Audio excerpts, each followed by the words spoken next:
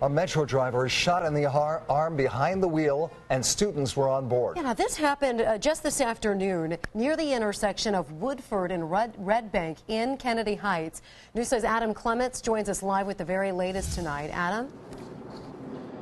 Yeah, Jack and Sheree, we want to start by letting you know that everyone on board is going to be okay. Now, the driver of that bus was in fact shot, but we're told she was just grazed in the left arm. She was able to walk to the ambulance herself when crews arrived, so certainly a good sign there. Now, I spoke with police earlier. They told me this happened around 4 o'clock. The Metro bus was making its way down Woodford Avenue when the driver heard the sound of a gunshot. She soon realized she'd been hit with a bullet that came through the driver's side windshield. Now, there were 12 Woodward High School students on board. We're told they were the only passengers. None of them were harmed.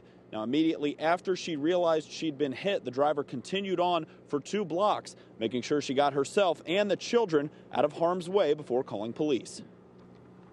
We are so proud of our driver. She showed a great presence of mind to be able to know again that she'd been injured, that there had been a shot at the bus that she believed that's what happened, um, was able to get the kids out of harm's way and then call for help.